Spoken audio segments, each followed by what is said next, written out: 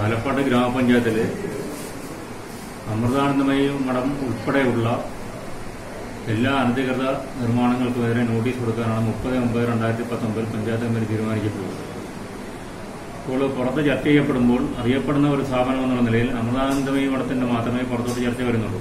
പക്ഷേ ഇത് അമൃതാനന്ദമയ മഠം ഉൾപ്പെടെയുള്ള എല്ലാ അനധികൃത നിർമ്മാണങ്ങളും നീക്കുന്നതിന് വേണ്ടിയാണ് പഞ്ചായത്ത് കമ്മിറ്റി തീരുമാനം എടുത്തിട്ടുള്ളത്. അമൃതാനന്ദമയ മഠത്തിനെ കുറിച്ച് ഇതിന് അനധികൃത നിർമ്മാണത്തെ കുറിച്ച് പറയുമ്പം ഈ പിന്നെ പടിഞ്ഞാറ് അറബിക്കടലാണ് കിഴക്ക് ടി എസ് കനാലാണ്. ടി എസ് കനാലിൽ നൂറ് മീറ്റർ പരിധി വിട്ടും. അറബിക്കടലിൽ നിന്ന് പിന്നെ ആദ്യത്തെ നൂറ് മീറ്ററിനകത്ത് മത്സ്യത്തൊഴിലാളികൾക്ക് മാത്രം മാത്രം നിലവിലുള്ള ബിൽഡിങ്ങിന് പുതുക്കി പണിയാൻ അതേ പ്ലിന്തേരി അനുമതി കൊടുക്കാൻ പറ്റത്തുള്ളൂ. പുതിയൊരു നിർമ്മാണം നൂറ് മീറ്റർ പറ്റത്തില്ല. നൂറിനും ഇരുന്നൂറിനും ഇടയ്ക്കുള്ള ദൂരപരിധിക്കകത്ത് നൂറ് മീറ്റർ സ്ക്വയർ എന്നുള്ള പരിമിതിക്കുള്ളിൽ നിർത്തിക്കൊണ്ട് പുതിയ വീടുകൾ അനുവദനീയമാണ്. ഇരുന്നൂറ് കഴിഞ്ഞിട്ടേ മറ്റേത് നിർമ്മിതിയും സിആർസിന് അനുവദിക്കാറുള്ളൂ. അങ്ങനെ ഇരിക്കുവാണ് ഈ മഠത്തിന്റെ നിർമ്മിതികളെല്ലാം തന്നെ ഏതാണ്ട് പകുതിയോളം നിർമ്മിതികൾ ഇരുന്നൂറിനകത്ത് വരുന്നതാണ്.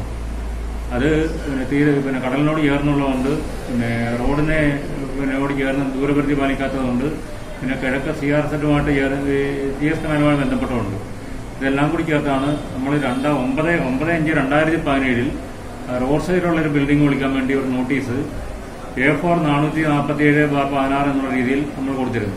അത് മഠം കൈപ്പറ്റുകയും ചെയ്തു. പക്ഷേ അതിന് മേലെ റിപ്ലൈ മഠത്തിന്റെ ഭാഗത്തുനിന്നുണ്ടായില്ല പിന്നെ അതിനെ തുടർന്ന് ഈ വിഷയം പിന്നെ കഴിഞ്ഞ ആഴ്ച കൂടി ധനകാര്യ കമ്മിറ്റി വിശദമായി ചർച്ച ചെയ്യുകയും പഞ്ചായത്തിൽ നിലവിലുള്ള അനധികൃതമായ കെട്ടിടങ്ങളിലെ ലിസ്റ്റ് ഔട്ട് ചെയ്തുകൊണ്ട് മഠം ഉൾപ്പെടെയുള്ള എല്ലാ കെട്ടിടങ്ങൾക്കും നോട്ടീസ് കൊടുക്കാനാണ് തീരുമാനിച്ചിട്ടുള്ളത്.